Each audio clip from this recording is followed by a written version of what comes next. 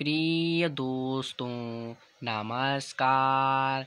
आज के इस वीडियो में हम पढ़ेंगे एबाउट को हिंदी में क्या कहते हैं। तो देखिए देखिए एबाउट को हिंदी में हम कहते हैं प्राय। इस वीडियो में इतना ही। Thank you have nice day